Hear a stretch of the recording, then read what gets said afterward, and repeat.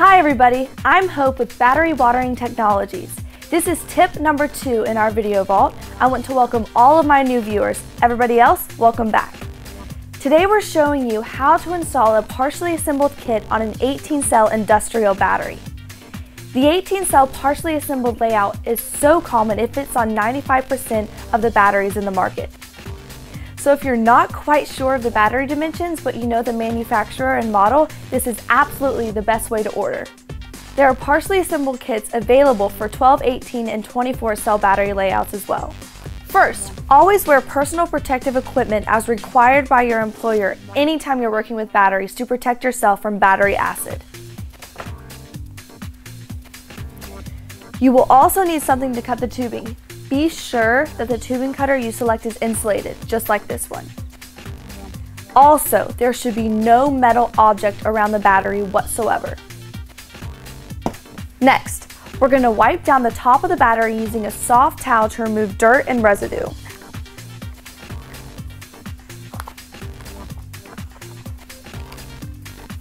Then, you're going to want to remove the vent caps from the battery. At this point, you must make sure the electrolyte levels are above the plates. If the levels are below the plates, manually add just enough water to cover the plates in each cell. One thing I would like to mention, if your battery requires an adapter for a 35 millimeter opening, insert the adapter into the vent well before you install the valve.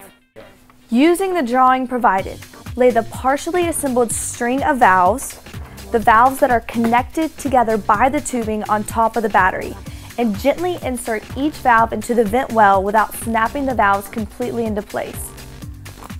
And while you're doing this, be sure to route the tubing underneath the cables whenever possible. They should never be pinched.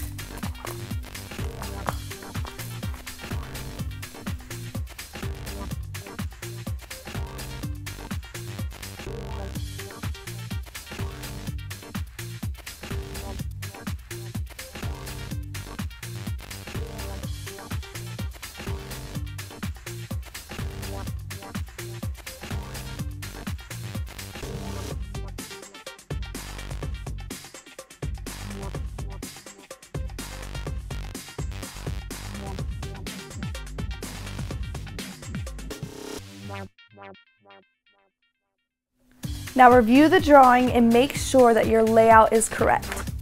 Also, additional tubing is provided with the partially assembled kit. The tubing is used to connect the ends of the strings together. Push the tubing all the way into the barb so it is flush with the valve.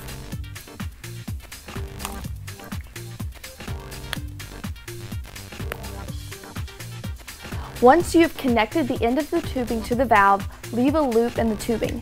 Measure the tubing to the middle of the valve you will attach it to and cut the tubing squarely and evenly.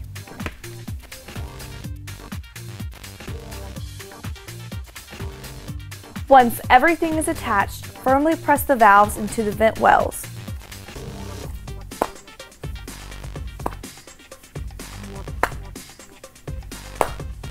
It's always good practice to tie down heavy gauge battery cables but do not tie them to the watering system because the tie downs may restrict water flow.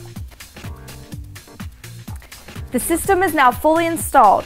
One important note, you have to wait until the battery has completed its next full charge cycle before watering. Always water the battery after charging. Thanks for watching. See you soon.